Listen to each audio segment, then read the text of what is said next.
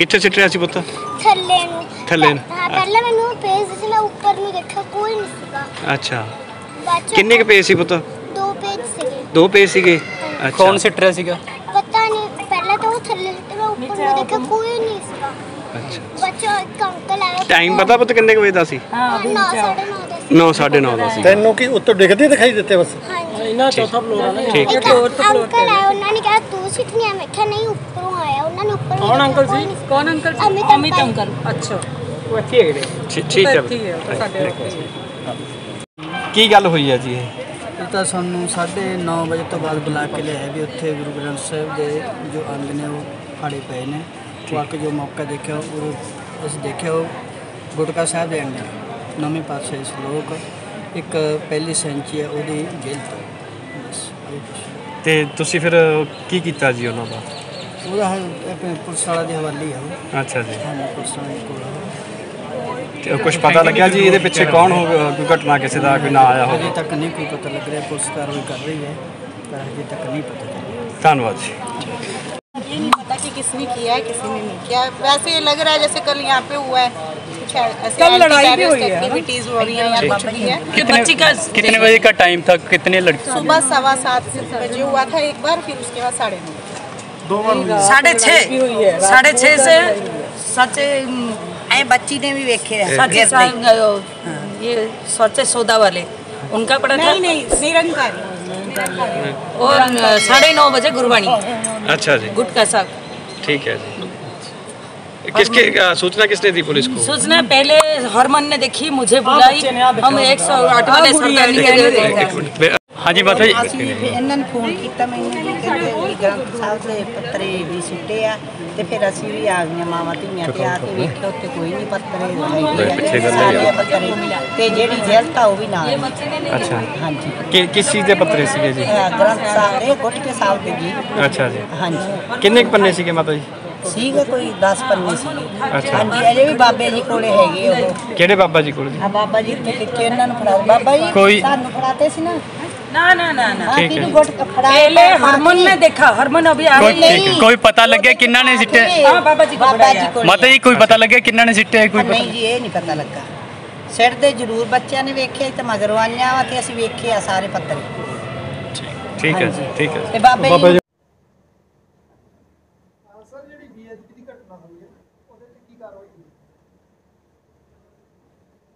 ਹਾਂਜੀ ਇਹ ਕੱਲ ਦੀ ਗੱਲ ਹੈ ਜਦੋਂ ਸਵੇਰੇ ਇਹ ਡੀਡੀ ਮਿੱਤਲ ਤੋਂ ਖਬਰ ਮਿਲੀ ਸੀ ਕਿ ਉਹ ਛੱਤ ਤੋਂ ਜਿਹੜੇ ਉੱਥੇ ਟਾਵਰ ਹੈਗੇ ਆ, ਬਲੌਕ 8 ਤੋਂ ਕੋਈ ਵੱਖ-ਵੱਖ ਧਰਮਾਂ, ਵਿਚਾਰਧਾਰਾ ਨਾਲ ਸੰਬੰਧਿਤ ਜਿਹੜੀ ਧਾਰਮਿਕ ਪੁਸਤਕਾਂ ਆ, ਉਹਨਾਂ ਦੇ ਪੰਨੇ ਉੜ ਕੇ ਆ ਰਹੇ ਆ, ਉੜ ਰਹੇ ਆ। ਤਾਂ ਉਸ ਤੇ ਤੁਰੰਤ ਪਹੁੰਚ ਕੇ ਪੁਲਿਸ ਵੱਲੋਂ ਕਾਰਵਾਈ ਕੀਤੀ ਗਈ ਸੀ ਤੇ ਉਸ ਏਰੀਆ ਨੂੰ ਕਾਰਡਨ ਕਰਕੇ ਉਹਦੀ ਸਰਚ ਦੌਰਾਨ ਸਾਨੂੰ ਇੱਕ N R I lady Ravinderpal Kaur, ਜਿਹੜੀ 10ਵੇਂ ਮੰਜ਼ਲ ਤੇ ਇਕੱਲੇ ਹੀ ਰਹਿੰਦੇ ਆ, ਪਿਛਲੇ ਸ਼ਾਇਦ 8-10 ਮਹੀਨਿਆਂ ਤੋਂ।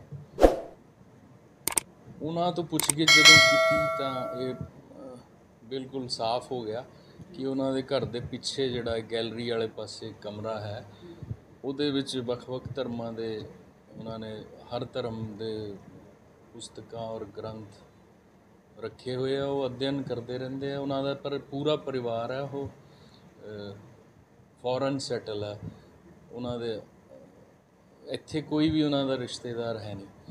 ਤੋ, ਉਹਨਾਂ ਦੀ ਜਿਹੜੀ ਆ ਉਸ ਤੋਂ ਬਾਅਦ ਕਾਫੀ ਜਿਹੜੇ ਲੋਕਲ ਧਾਰਮਿਕ ਸੰਸਥਾਵਾਂ ਦੇ ਲੋਕ ਆ ਜ- ਤੇ ਉਹਨਾਂ ਵੱਲੋਂ ਸਾਨੂੰ ਦੇਰ ਰਾਤ ਕੰਪਲੇਂਟ ਮਿਲੀ ਸੀ। ਤੇ ਜਿਸ ਤੇ ਰਾਤ ਹੀ ਮੁਕੱਦਮਾ ਦਰਜ ਕਰ ਲਿਆ ਗਿਆ ਸੀਗਾ। ਤੇ ਉਹਦੀ ਕਾਰਵਾਈ ਜਾਰੀ ਹੈ। ਤੇ ਜਲਦੀ ਅਸੀਂ ਇਹਦੇ ਵਿੱਚ ਜੋ ਵੀ ਜ਼ਰੂਰੀ ਕਾਰਵਾਈ ਹੈ ਜਾਂ ਦੋਸ਼ੀ ਦੀ ਗ੍ਰਿਫਤਾਰੀ ਹੈ ਉਹਨੂੰ ਅਮਲ ਵਿੱਚ ਲਿਆ ਕੇ ਇਹਦੀ ਤਫਤੀਸ਼ ਅੱਗੇ ਵਧਾਈ ਜਾਏਗੀ। ਜੀ ਇਹ 295 ਏਆਈਪੀਸੀ ਦੇ ਤਹਿਤ ਦਰਜ ਕੀਤਾ ਗਿਆ। ਹੈ ਹਾਂ? ਹਾਂ ਇਹ ਇਹ ਜਿਹੜਾ ਐਫ ਆਈ ਆਰ ਹੈ ਇਹ ਜਿਹੜੀਆਂ ਸੰਸਥਾਵਾਂ ਦੇ ਨੁਮਾਇੰਦੇ ਆਏ ਸੀ ਉਹਨਾਂ ਵੱਲੋਂ ਪੂਰੀ ਤਸਦੀਕ ਉਪਰੰਤ ਬਾਈ ਨੇਮ ਕਰਵਾਈ ਗਈ ਸੀ। ਤੇ ਲੇਕਿਨ ਕੱਲ ਇਹ ਜਦੋਂ ਦੇਰ ਰਾਤ ਸਾਨੂੰ ਇਤਲਾਹ ਮਿਲੀ ਹੈ ਔਰ ਐਫ ਆਈ ਆਰ ਦੇਰ ਰਾਤ ਦਰਜ ਹੋਈ ਹੈ ਤੇ ਉਹ, ਕਾਨੂੰਨ ਮੁਤਾਬਕ ਇੱਕ ਮਹਿਲਾ ਹੋਣ ਦੇ ਨਾਤੇ ਰਾਤ ਸਮੇਂ ਉਹਨਾਂ ਨੂੰ ਗ੍ਰਿਫਤਾਰ ਨਹੀਂ ਸੀ ਕੀਤਾ ਜਾ ਸਕਦਾ। ਤੇ ਉਹਦੀ ਮਾਨਸਿਕ ਸਥਿਤੀ ਵੀ ਉਸ ਟਾਈਮ ਠੀਕ ਨਹੀਂ ਸੀ। ਤੇ ਅੱਜ ਵੀ ਸਵੇਰ ਉੱਥੇ ਉਹਦਾ ਮਾਨਸਿਕ ਸਥਿਤੀ ਦਾ ਹਿਸਾਬ ਲਗਾ ਕੇ ਡਾਕਟਰੀ ਰਾਏ ਮੁਤਾਬਕ ਉਸ ਤੇ ਕਾਰਵਾਈ ਕੀਤੀ ਜਾਏਗੀ। ਕਲੀਅਰ ਹੋ ਸਕਿਆ ਸਰ ਵੀ ਇਹ ਦੀ ਮਨਸ਼ਾ ਕੀ ਸੀਗੀ? ਦੇਖੋ ਜੀ ਮੈਂ ਪਹਿਲੇ ਵੀ ਦੱਸ ਚੁੱਕਿਆ ਵੀ ਇਹ ਜਦੋਂ ਮੈਂ ਇਹਨਾਂ ਦੇ ਜਿਹੜੇ ਰਿਸ਼ਤੇਦਾਰ ਹੈ ਅਮਰੀਕਾ ਨਿਊਜ਼ੀਲੈਂਡ ਦੇ ਵਿੱਚ ਉਹਨਾਂ ਨਾਲ ਗੱਲਬਾਤ ਤੋਂ ਪਤਾ ਲੱਗਿਆ ਕਿ ਇਸ ਲੇਡੀ ਇਹ ਲੇਡੀ ਪੜ੍ਹੇ ਲਿਖੇ ਹੈ ਧਾਰਮਿਕ ਪ੍ਰਵਿਰਤੀ ਦੇ ਵੀ ਰਹੇ ਹੈ। ਔਰ ਇਹ ਧਾਰਮਿਕ ਸੰਸਥਾਵਾਂ ਨਾਲ ਇਹਨਾਂ ਦਾ ਸੰਬੰਧ ਵੀ ਰਿਹਾ ਜਿਹਦੀ ਪੜਤਾਲ ਕੀਤੀ ਜਾ ਰਹੀ ਹੈ।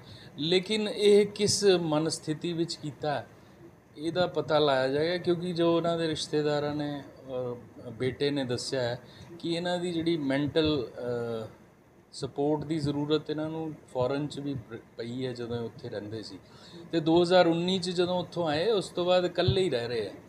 ਤੋ ਸੋ ਇਹ ਬੜਾ ਅ, ਗਹਿਨ ਜਾਂਚ ਦਾ ਵਿਸ਼ਾ ਹੈ। ਜ਼ਰੂਰ ਡੂੰਘਾਈ ਨਾਲ ਪੁੱਛਗਿੱਛ ਕੀਤੀ ਜਾਏਗੀ ਔਰ ਇਹਦੇ ਸਿੱਟੇ ਤੇ ਪਹੁੰਚਿਆ ਜਾਏਗਾ ਵੀ ਕਿਸ ਮਨਸ਼ਾ ਨਾਲ ਹੋਇਆ, ਕਿਸ ਕਾਰਨਾਂ ਤਹਿਤ ਹੋਇਆ।